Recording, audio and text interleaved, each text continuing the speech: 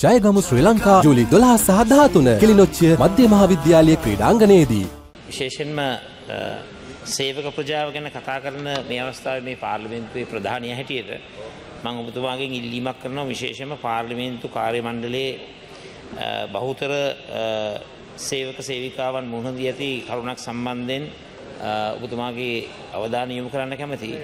විශේෂයෙන්ම මේ පාර්ලිමේන්තු කාර්ය මණ්ඩලයේ අ, වැටුප් ප්‍රතිව්‍යුහගත කරණයකට අවධානය යොමු වෙලා තිබෙනවා. එය ඉෂ්ට සිද්ධ කරනකොට මම ඔබතුමාගෙන් ඉල්ලීමක් කරනවා සියලුම සේවක පාර්ශවයන් සියලුම කොට්ටාසන් වලට සාධාරණයක් අ, ඉටු වෙන ආකාරයට මේ වැටුප් තලයන් වල අ, වැඩි කිරීම කරනකොට ඒක හැම අ, කොටසකටම සාධාරණයක් ඉෂ්ට වෙන විදිහට ක්‍රියාත්මක කරන්න කියලා ඔබතුමාගෙනුත් අ, ගරු මහලේකම්තුමියගෙනුත් මම ඉල්ලීමක් කරනවා. ඒ වගේම තව අ, පුංචි කාරණාවක් මම විශේෂයෙන්ම අධ්‍යාපන ඇමතුමාගේ අවධානය යොමු කරන්නට කැමති අධ්‍යාපන ඇමතුමා.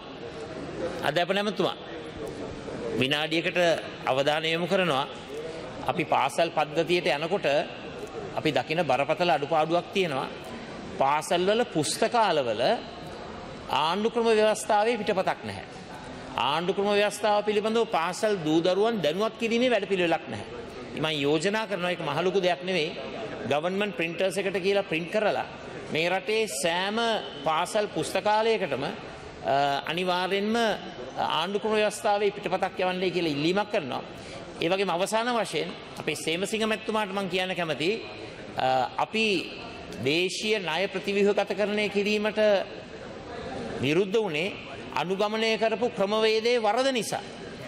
වැඩ කරන සේවක ප්‍රජාවගෙන් ඒ අර්ථ සාධකයට පික් පොකට් ගහලා ප්‍රයිමරි බොන්්ඩීලස්ලව බේරුව.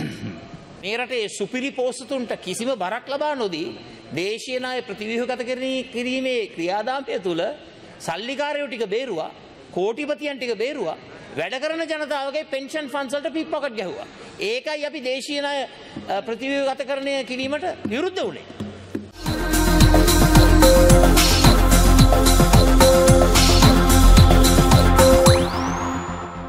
We lead the web news.